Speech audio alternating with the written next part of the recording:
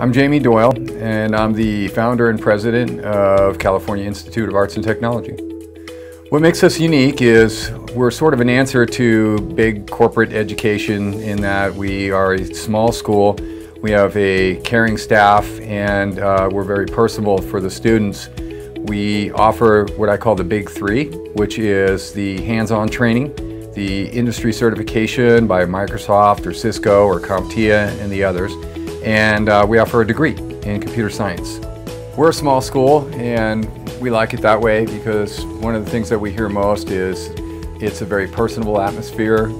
I did learn hands-on skills. I actually learned more skills here within two months than I did with my four-year degree.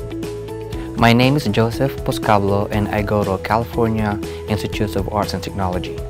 My educational background is bachelor in a university and of course university is all about uh, assignments and work group and thesis.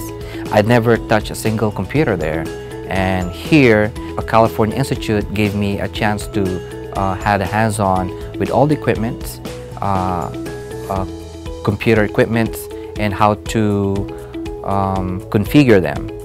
I heard about this school just by doing research of my own, looking around online to find schools that offered training in the IT field. What stood out was that they had classes that were hands-on core classes that just related specifically to IT and computers. This school was just hands-on like certifications for the industry and that's what I wanted. Well, there's hands-on in the classroom and that's where we actually get our hands on the equipment. We actually break things, we fix things.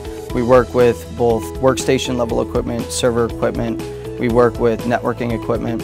But uh, we also have to be able to dovetail that with specific scenarios. So you must have a scenario that you can relate all of this back to. So we actually will develop labs and we have labs in place so that we can do specific exercises and uh, uh, to demonstrate what you might actually see in the field.